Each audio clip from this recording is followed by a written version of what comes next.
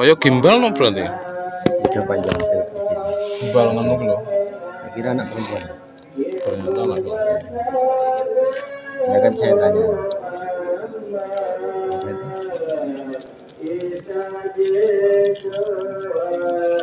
ini kelahiran Malaysia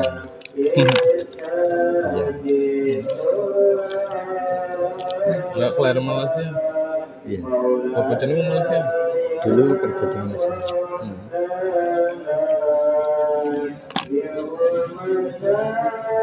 Pas di rumah saya itu diam aja gitu. Padahal biasa katanya kalau di rumah itu Bawaan Oh, beneran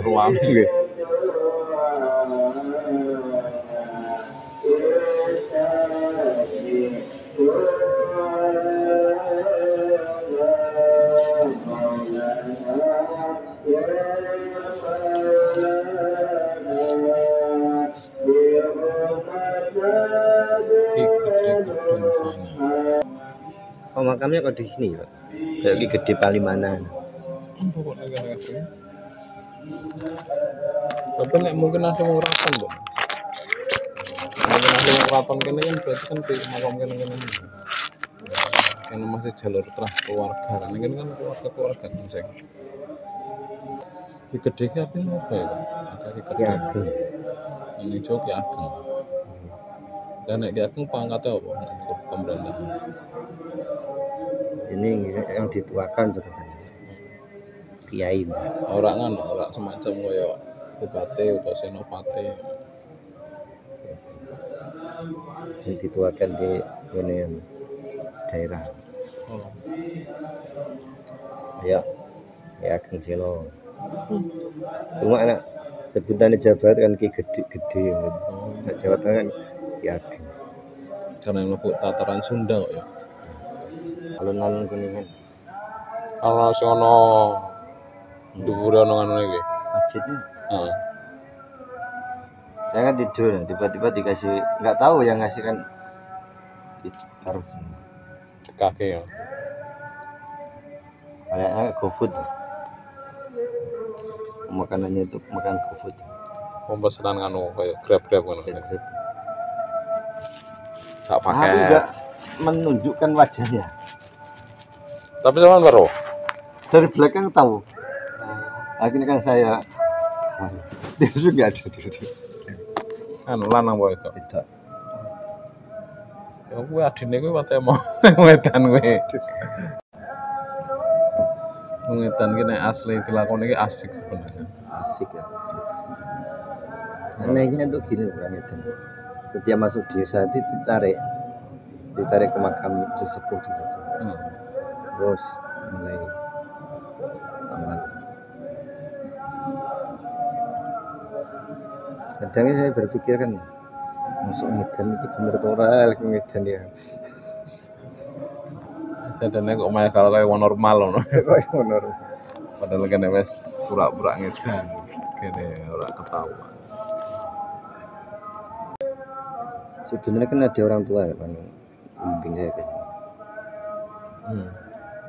Bapak. orangnya kan pakai jubah Oh, maksudnya orang tua bukan orang tua kandung. bukan Hmm. maksudnya oh sudah dong Hmm. kan nemui intinya kita kasih tahu dikirannya itu kalau rikohnya itu dikirannya itu ini makanya saya kaget lu dikiranya kok sama kan Sama kayak punya eh? yang, yang dulu itu yang kasih tahu Hmm.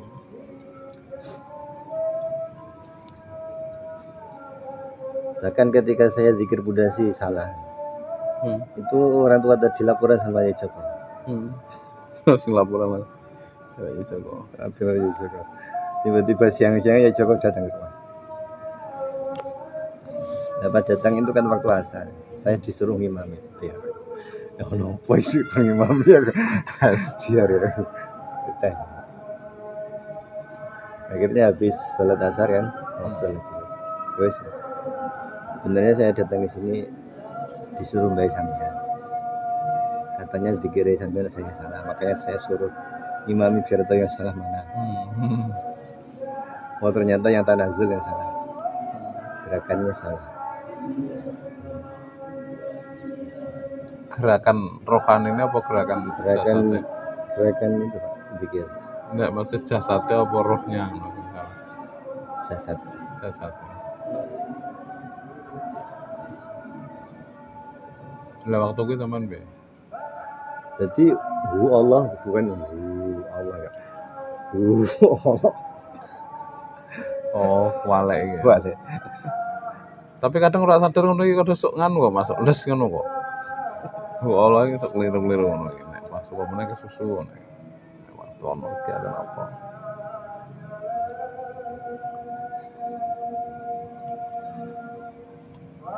Tapi memang pengalaman kadang aneh kadang itu tiba-tiba ada ruh keluar Hmm. kalau keluar sudah nggak bisa apa Diem. dia mau gerak nggak bisa Itu biar apa itu Vin ya? ya nggak tahu mau pakai apa pakaian keraton Hmm. ketika saya di rumah ya, Hmm. itu kan nemu ada tamu Hmm. tuh lihat tamunya nemu siapa lihat tapi nggak bisa gerak Lah terus menang gue sak sak balik mana? iya agak sadar benar Tidak pas ono tamu ngono terus menang saya kan. kadang seperti itu kemarin kemarin malah habis ngeden kan langsung pulang Jaka. Coba. Ayo. baru datang itu langsung disuruh pulang sama Jakarta pulang aja Ya ternyata ono. nggak tahu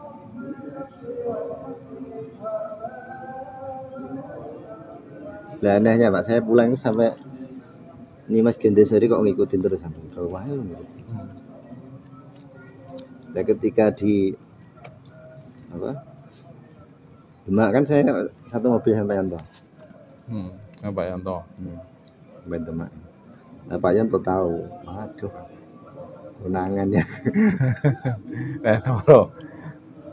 Pak Yanto baru akhirnya teleponin Nanda Nah, mau cerita sana nih ya malah nih kebongkar. konangan ya Dan sampai so ketemu makome lima Gandasari yang kuningan, yo di kayak petunjuk gue. iya ditarik jadi kan ada energi nyentak. Hmm. ya suruh mengikuti ikuti terus tapi anehnya kan ya pas makamnya pas berhenti di makam Hmm. padahal kan di tengah hutan. Jadi makamnya cuma satu ya? Yang kon- kuningan hutan kok. itu loh pak jarak keramat wangi yang melewati sungai Cisanggar. Yang Oh, sing arah Luragung. enggak. Masih ke sana. Sing arahe nek kuningan. Arah Banjar. kan ngertas nih gue oleh set ini Perapatan. perapatan Nek sing ngiri, nek sing dari ning kuningan kota. itu kan eh, dari apa Ciawi ya Jawa Gebang. nah, itu kan langsung lurus Ah, sing lurus. kalau ke sini kan sampai ke alun-alun ke kota Heeh. itu sih lurus Sing lurus ngetan. kita tong itu kan Kan nek so Jawa Gebang kan lur ana perapatan. Nek sing anan kan kota. Nah, nek sing lurus kan terus lurus terus nganan kan alun-alun kae. Hmm. Nah, nek sing kiri kan ning Luragung. Lagi sing arah ning Luragung, Bro. sing alah lurus alah apa Alun-alun kuwi. alun-alun tapi kan masuk lagi ke kiri Oh, belok kiri berarti. ya belok kiri arah gunung itu loh Gunung apa jenenge? ratusan pak monyet ini Ah. apa bambu ya ada Oh. bambu Bener bambu ngono. Burine Mas Jari kan bambu-bambu yo kuwi. Lah ning alas rasio akeh makom-makom ternyata. Termasuk ono siji budi itu bani wong kamu lalu kuwi jarene. Terus munggah meneh makom yang besar itu kan anu pak daerah itu Mbah Padang Oh, no. yang atas gunung pas pucuk gunung Hmm. Mbah Padang Lah sing nggon kuwi desa Cimeong kuwi sing ditinggal kabeh iki jareke ono watu gedhe Mas siji. Kuwi sok ngundung mengisor jebet. Tapi kok ngelangsung balik ning durne. oh berarti anu pak ibu sebelah Ciwarung itu. arah Luragung itu terus ke apa ke selatan itu berarti Heeh. Langsung gitu. yang batunya bisa naik Heeh. sendiri heeh. oh iya itu Kuwi. Pokoknya nek kowe mudhun jarene ono bencana. Wong sing tapi ning durne. Iku kalau nggak salah anu kok Pak, batu yang di situ. Pertapaan Narbu Siliwangi ya. Or- ora sing padha karo sing ngono iki berarti tol iki. Iya. Kan tol kuwi ra iso dibedah ta sing ambek dibelok kayak ngene, tapi nek lewat tol kan ketok kudu sing iso. Jadi dulu tempat pertapaan Prabu Siliwangi. Makanya kok padha watune gede. Terus saiki ditinggalkan sak ampun. Ora tinggal. Longsor di apa jenenge? Dol desa karo pemerintah. Sing tol niku. Ora sing nggon kampung Mas. Simeong iki. Kampung mati, desa mati lah. Ya mau mae sewu to, cuman kami dorot taruh taruh tinggon iki. Sak desa sak kampung dipindah. Iku pas ngedan aku sholat nangis nganti nuwes sesenggukan gara-gara Iku gara-gara apa? Iki Mas. Woten deh, sing setunggal niku. Imas Gandawangi. Imas Gandawangi iku cara itu sampai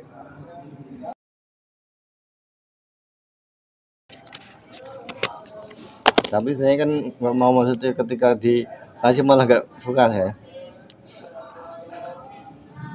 Malah terlalu- ora ora nyaman ya. Perjuangan iki kita kurang kok.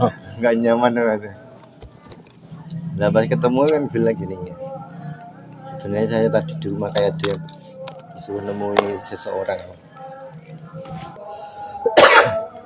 Cuma kalau rame itu tidak mendekat. Saya itu orangnya tuh su- suka sendiri kok. Iya. Lah ke mana ora tak temoni barangnya ya mesti oh. Nggak enak kalau kalau-